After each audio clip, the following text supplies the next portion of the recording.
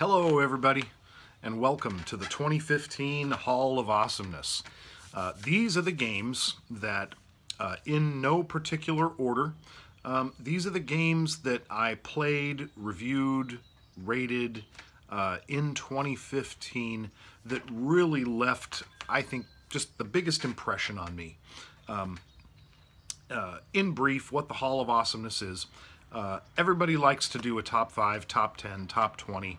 Um, I don't want to do that. And really, you don't care what my number nine favorite game of the year was.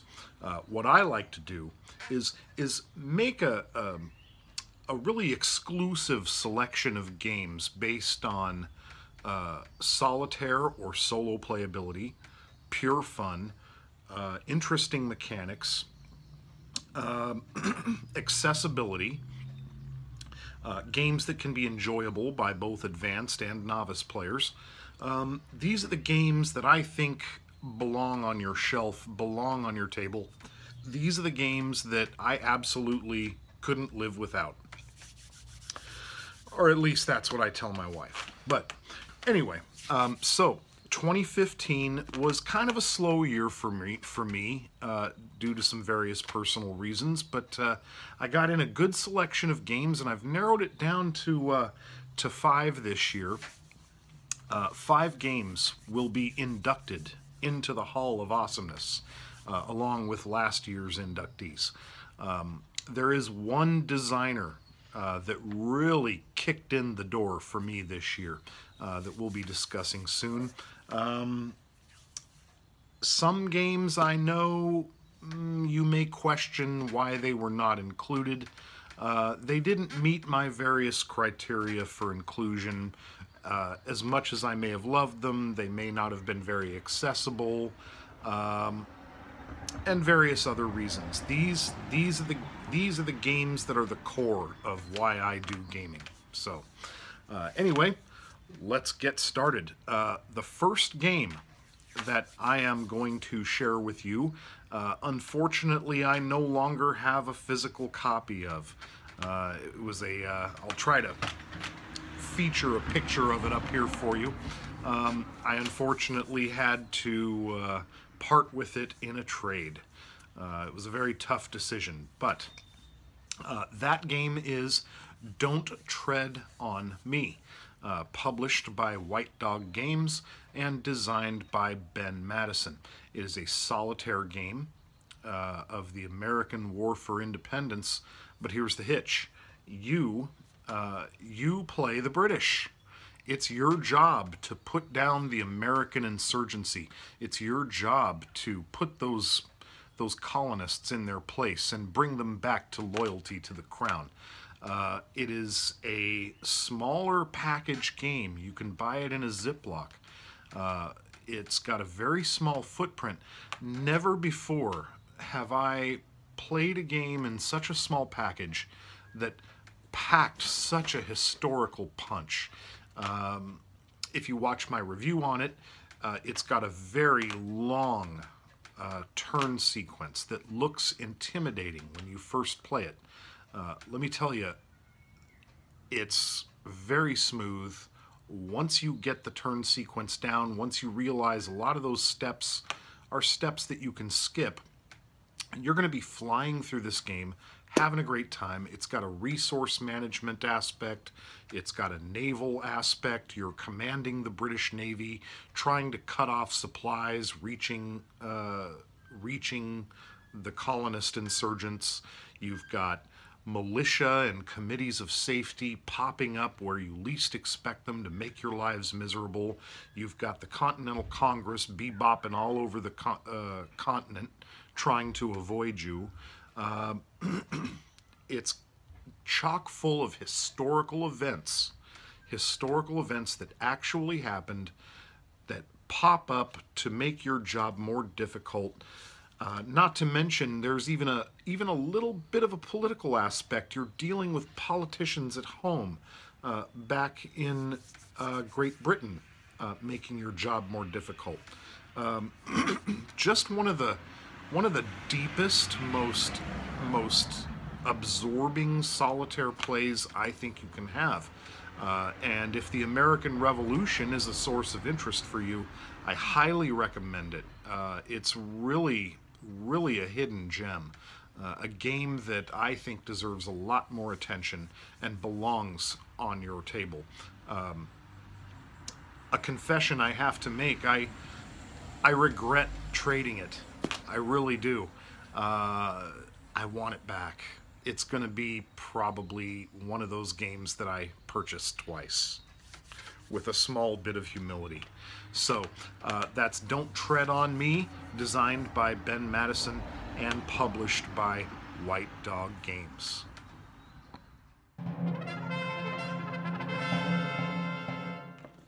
Okay, next up is a game I had an absolute blast with. Uh, the designer of this game um, I discovered for the first time in 2015. Uh, he's been around for a few years. Um, I'm so impressed with his designs, uh, which is why a few of his games made my very short list this year. Um, and this particular game is The Fires of Midway. It is designed by Stephen Cunliffe and published by Clash of Arms. Uh, the Fires of Midway is a card-based game uh, for one or two players um, based around the large carrier battles in the Pacific during World War II between the United States and Japan, uh, up through the Battle of Midway in 1942. Uh, Coral Seas in here. There's even uh, a historical or a uh, what if alternative history scenario uh, involving the defense of Wake Island. What if American carriers had made it there to, to help in the defense of that island outpost? Uh, there is also, uh, for those of you who remember the movie The Final Countdown, there's even the USS Nimitz in here, and you can take on a Japanese carrier fleet uh, attacking Pearl Harbor with the USS Nimitz and modern jet fighters.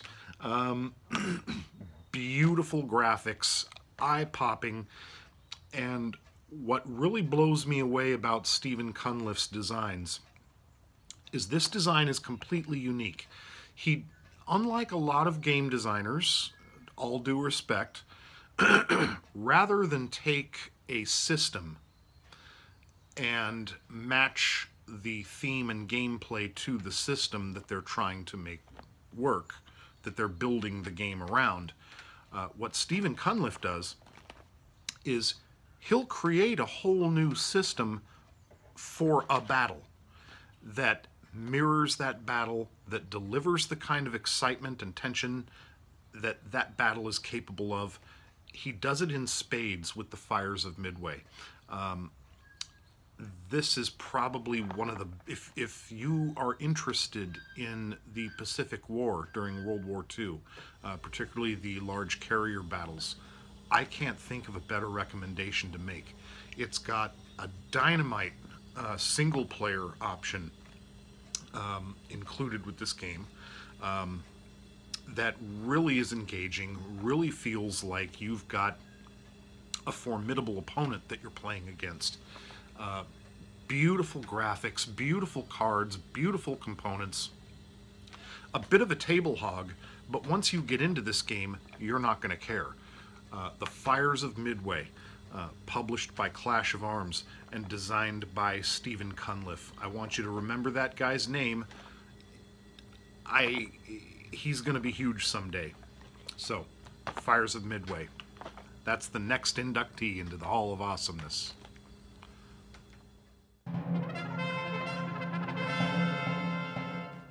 Okay, moving right along. Uh, our next inductee into the Hall of Awesomeness is another game that's been around for a few years. Um, it is part of the very popular Commander series of games uh, published by DVG and designed by Dan Verssen. Uh, this one is Field Commander Alexander. Um, love, love, love this game. Uh, this is probably what I would consider the more entry level game if you are interested in the Commander series by DVG. Uh, this game's successor, Field Commander Napoleon, uh, was on my Hall of Awesomeness list last year. Uh, it's simply one of the greatest solitaire designs I've ever played. Alexander uh, has a hallowed place on my shelf next to Field Commander Napoleon. Uh, in Field Commander Alexander, you've got four mounted maps, four different campaigns that span the entirety of Alexander the Great's career. Uh, it's got a dynamite, continuous career campaign where your uh, results from the previous campaign will affect your beginning conditions for the next. Uh, combat is simple, it's very abstract, and yet it maintains that tactical feel of, of linear ancient combat. Uh, the use of battle plans is simply brilliant, uh, enjoyable, thematic, it oozes theme. Uh, and it plays quickly. Uh, this game uh, once you learn the system, which shouldn't take long, the turn sequence and all your charts, everything you need, is printed right there on your campaign map. So you're not going to spend a lot of time flipping through a rulebook with, with Field Commander Alexander. It is an outstanding entry-level game for those looking for a taste of the Commander system, but don't want to commit a huge portion of their income to do so. Uh, and it's just plain fun. Uh, love Field Commander Alexander. Um, excellent replayability, uh, depending on your desire to mix things up. You can use different advisors to help you on your way, uh, use different battle plans, use different mixtures of forces, you, you know, approach the campaigns differently. Uh, outstanding game. Uh, one that still hits my table along with Field Commander Alex or Field Commander Napoleon. Alexander is simply a terrific solitaire game. Belongs on your shelf, belongs on your table. Field Commander Alexander can't recommend this highly enough. Welcome to the Hall of Awesomeness.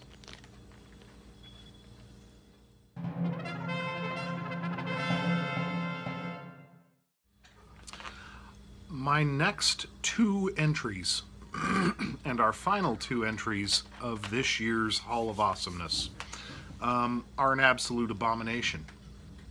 Why? Why? Well, because the next two entries are actually magazine war games. How is this possible? Against the Odds magazine, issue number 43, issue number 43, Islands of the Damned. Uh, you heard me go on and on about Stephen Cunliffe earlier. Uh, he has designed two games. That's right, there are two games included with this issue of Against the Odds magazine, both designed by Stephen Cunliffe, both again dealing with the Pacific War in World War II. Um, one is called Given Up for Dead. Uh, it is the American defense of Wake Island uh, against the Japanese naval invasion fleet. And the second game uh, is called Utmost Savagery. It is the American invasion of Peleliu Island. Um, I so loved these games, and I don't normally do this for magazine war games, I went and got one of these, uh, a hard case storage unit to keep it pristine because I love it so much. Uh,